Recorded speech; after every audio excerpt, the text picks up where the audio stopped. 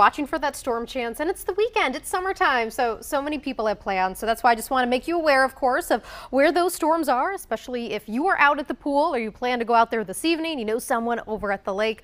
As we're looking at the radar here as a wide view you see that blue pop up across really parts of Missouri over into Kansas and parts of northeastern Oklahoma. That's a severe thunderstorm watch for our friends off towards the northeast. But what I'm watching are for storms developing right along a cold front. Biggest threats with this is going to be some gusty winds as these storms collapse. So you're looking at about 60 to 70 mile per hour winds.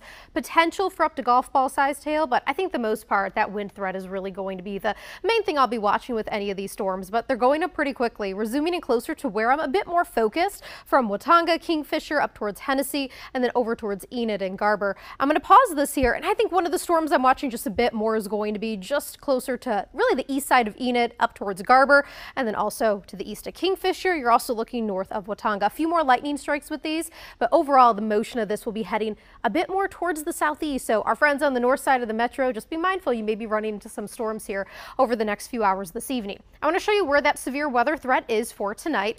Like I said, gusty winds, that's going to be the biggest threat. Level two, slight risk for our friends closer towards Tulsa, and then another one way off to the panhandle in between where I'm watching for those storms. That's the marginal threat, and mainly this is going to be along I-40 and to the north. Overall, these storms will still be able to grow over the next couple hours. They'll sort of peak in intensity once we get to after sunset. They'll start to weaken quite a bit. So we walk through our predictor here, still watching mainly north of I-40, anywhere from Ponca City, Enid, Stillwater, over towards Watonga, back towards Weatherford and Clinton. More storms to develop with that gusty wind potential. We go later into the evening. These storms will slowly push a bit to the southeast, so we will have to watch across central Oklahoma. And then we get to about 11 o'clock and that storm threat really going down. But it's also hot outside, so it's sort of a twofold weather story here because this is the view to the south we're not looking at those storm chances, so a lot of Oklahoma actually seeing some blue sky, but it feels like 106 outside. We have an excessive heat warning across much of the state, so if you don't get any rain that cools you off, of course it's going to be feeling pretty hot out there. Most of our temperatures either upper 90s, triple digits. That humidity, though, making it feel like it's anywhere from around 110, even close to 115 for some of us. Watching for that low chance of storms the next few hours in the uh, OKC Metro, central Oklahoma. Overall, we go overnight and that storm threat does diminish quite a bit. But the storms are caused uh, really really developing right along a cold front. So temperatures in the upper 60s. Love to see that across northern Oklahoma for tonight.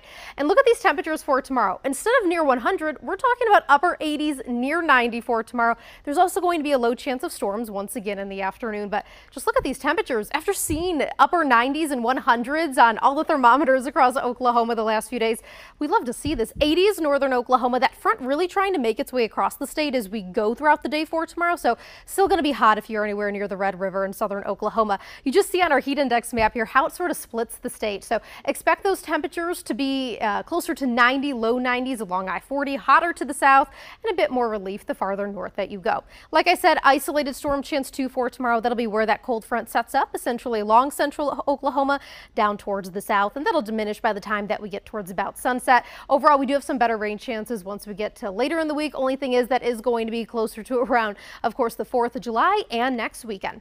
And you're up to date with the latest First Alert forecast.